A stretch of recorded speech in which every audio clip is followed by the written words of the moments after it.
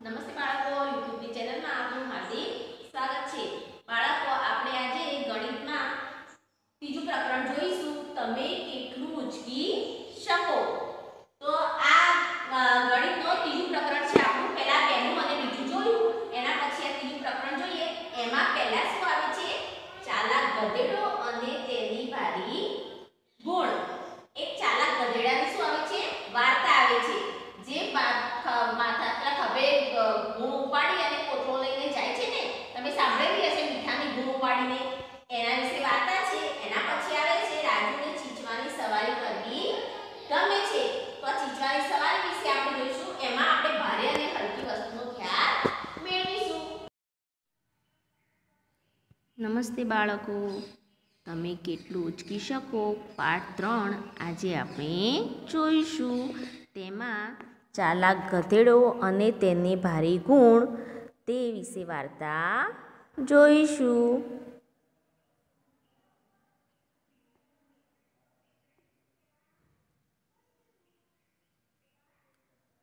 સંદેશ પાસે એક ગધેડો હતો.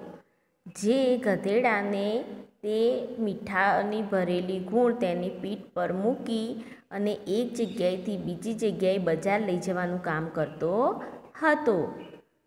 તો સંદેશે તેની પીઠ પર મીઠું ભરેલી ગુણ મૂકી અને તે બજાર તરફ જવા નીકળ્યો. પણ રસ્તામાં તેને એક નદી ઓળંગવી પડે છે, જેમાં ગધેડાનો પગ લપસી ગયો. જ્યારે તેનો પગ લપસી ગયો, ત્યારે ગધેડાની પીઠ પરનું બધું જ મીઠું પાણીમાં ઓગળી ગયું. જ્યારે પાણીમાં મીઠું ઓગળી ગયું અને ગધેડો ઊભો થયો, તો એના પીઠ પરનો બધો ભાર ઓછો થઈ ગયો હતો. કેમ કે મીઠું શું હતું? હલકું હતું. તેથી ગધેડો બહુ જ ખુશ થઈ ગયો. અને સંદેશને ખબર પડી કે ગધેડો ખુશ થઈ ગયો છે. માટે સંદેશને એક યુક્તિ સૂજી. બીજા દિવસે સંદેશે ગધેડાની પીઠ પર મીઠા ભરેલી ગુણની જગ્યાએ ગરમ કપડાં મૂક્યા. ગરમ કપડામાં પાણી ભરાવાથી તે ભારે થઈ જાય છે, એટલે કે વજન વધી જાય. ગધેડો જ્યારે ગયો અને પાણીમાં હાથે કરીને નીચે બેસી ગયો, ત્યારે ગરમ કપડામાં પાણી ભરાઈ ગયું અને પાણી ભરાઈ જવાથી તેના પીઠ પરનો ભાર વધી ગયો. અને ગધેડો પોતાની ચાલાકી કરવામાં ફસાઈ ગયો. હવે આપણે જોઈશું રાજુને ચીચવાની સવારી કરવી છે. રાજુને ચીચવાની સવારી કરવા મિત્રની જરૂર છે, તો તેની મદદ કરવા રાની આવે છે. પણ તોય રાજુ ચીચવાની સવારી કરી શકતો નથી, કેમ કે રાજુ ભારે છે અને રાની હલકી છે. એટલે રાનીની મદદ કરવા અસલમ આવે છે. એક બાજુ અસલમ અને રાની બેસે છે, એટલે કે વજન વધારે છે અને રાજુનું હલકું છે એટલે રાજુનો ચીચવો ઊંચો થઈ જાય છે અને રાનીનો નીચો રહે છે.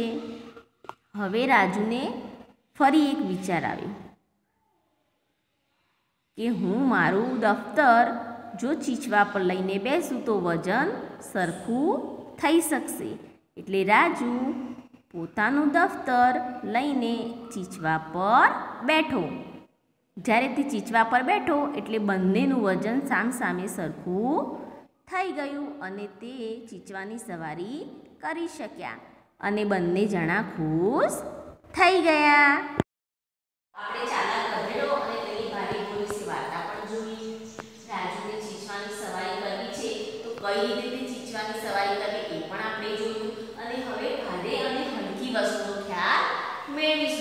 તો બાળકો, આ દડો છે. તો આ મોટો દડો અને આ નાનો દડો. તો આ મોટો કેવો થશે? ભારે દડો થશે. અને આ નાનો કેવો થશે? તો હલકો થશે. પછી આ બોટલ છે. તો બોટલ કેવી છે? બારે છે. તેની બાજુમાં આપણે ગ્લાસ મૂકીએ. તો આ કેવું થશે? હલકો થશે. બોટલ ભારે થશે અને ગ્લાસ હલકો થશે. આ રીતે આપણે પત્તું જોઈએ. અને તેની સાથે આપણે ચોપડી જોઈએ. તો ચોપડી કેવી થશે? બારે થશે. અને આ કાગળ શું થશે? હલકો થશે. આ જ રીતે આપણે એક આસુપાલવનું પત્તું લીધું છે અને એ પથ્થર લીધો છે. તો પથ્થર કેવો છે? બારે છે. અને આ પત્તું કેવું છે? હલકું છે. આ રીતે બાળકો આપણે ભારે અને હલકી વસ્તુનો ખ્યાલ મેળવ્યો. તમારે તમારા ઘરે પણ અમુક વસ્તુઓ જાતે જ ખ્યાલ આવી રીતે મેળવવાનો છે કે કઈ વસ્તુ ભારે છે અને કઈ વસ્તુ હલકી છે. નમસ્તે બાળકો.